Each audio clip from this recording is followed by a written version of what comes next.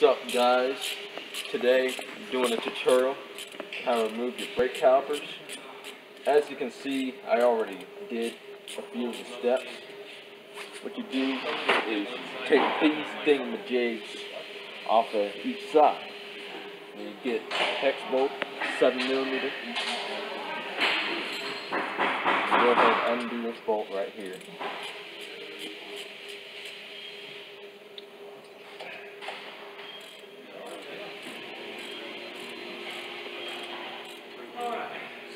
You want to make sure that once you get the caliper off, you don't let it dangle on the brake line.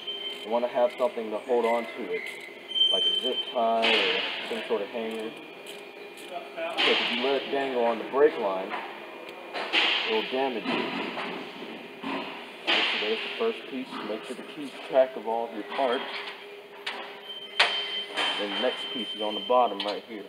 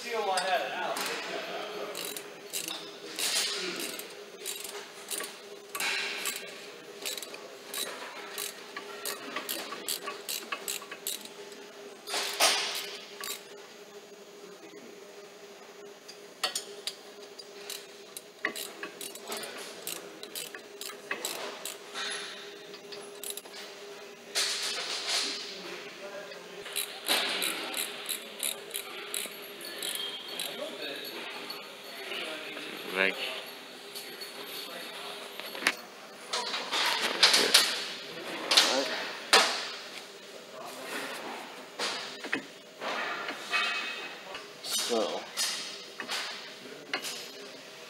and there you go. Now that you got this piece on, piece off, all you gotta do is just pop the thing right out, and there you go. And what you want to do is you want to clean this mess out, all right? You don't want it to be looking all like that. That. So now that you got your old old piece out, before you put the new piece in, uh, shoot. Okay. Set it down right here.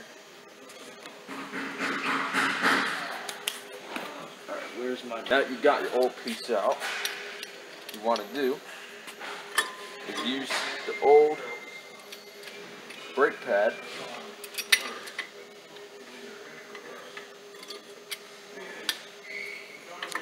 And compress that piston in there.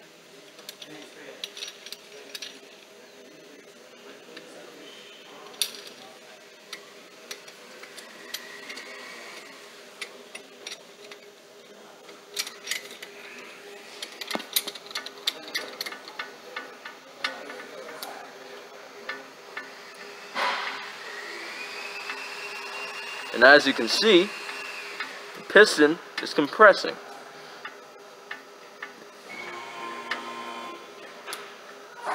There you go. Once it starts to get tight, that means it's nice and compressed.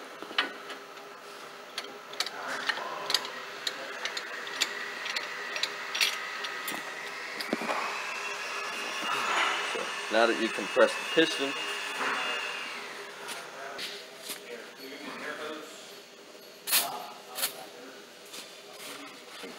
and mess out.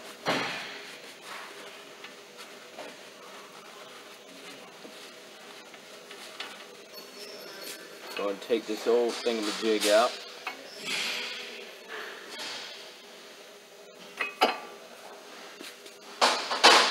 And get your new pads, wherever gold. You know, it don't matter how you open the box, just break it open if you have to. Alright. Pads. Can't really get it wrong. Wait. It's in there on the right side, right? Is it? Yeah, it's on the right side. I think so. Yeah, it should be. Alright. So now, take the caliper.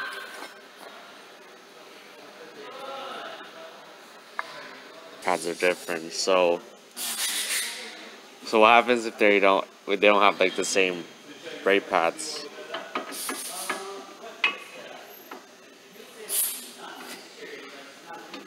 What if they have like another like type of um? It's the right type. I did it on. No, I mean like what if the other? I am gonna go.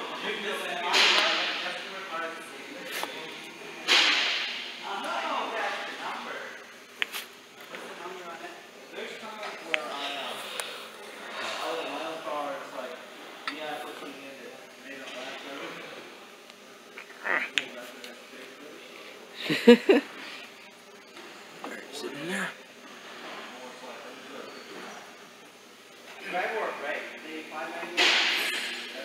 Also, the light isn't helping. It's just making it more blah. They can't.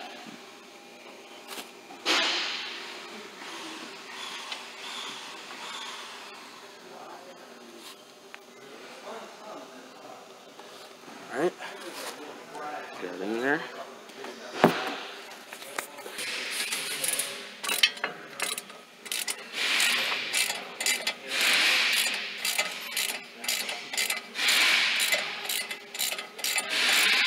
Just to make sure, you'll want to go ahead and do the bottom side as well.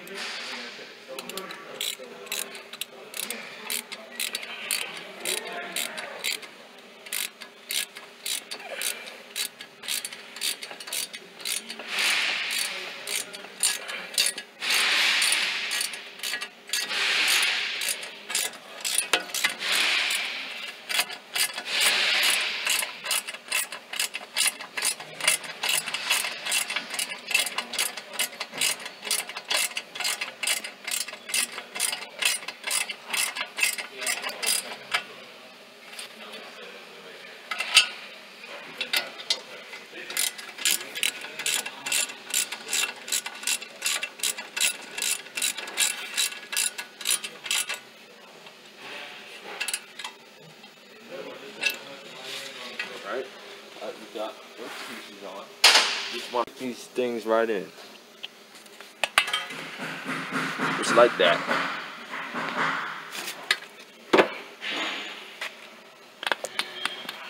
There you go. Now that you got all that stuff done, now you're on to your last step. You put in your new spring. Nice and shiny. Like this. I think it's the only people that have that were Ford and Mazda. Well, whatever. Anyways, now just stick those things in there. Right. Now that we got the new spring on, now all you got to do is just put the new wheel on there. So New wheel. not the new wheel, but the wheel. And I highly recommend that you change your rotors, but I don't have rotors right now.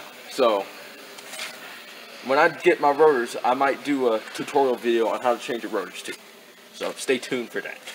Okay. Now, take your handy dandy wheel.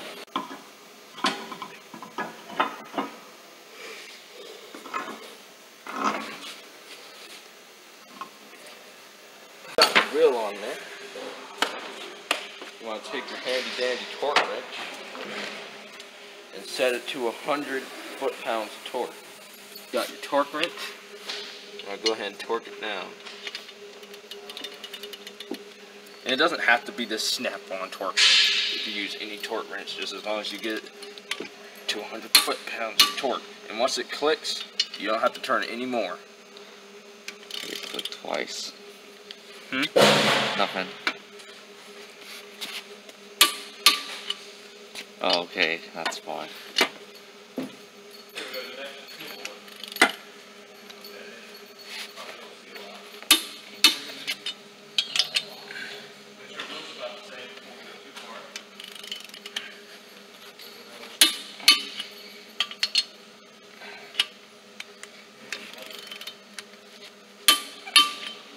Alright, just to double check.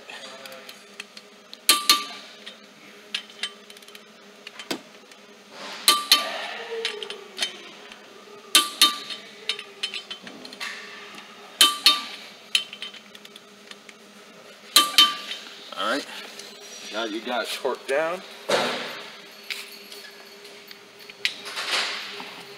Now what? Now, just gotta put the cover back on the master cylinder. So.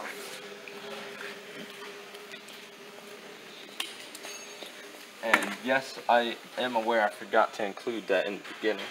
I apologize. You But- took the brake cap fluid cap off?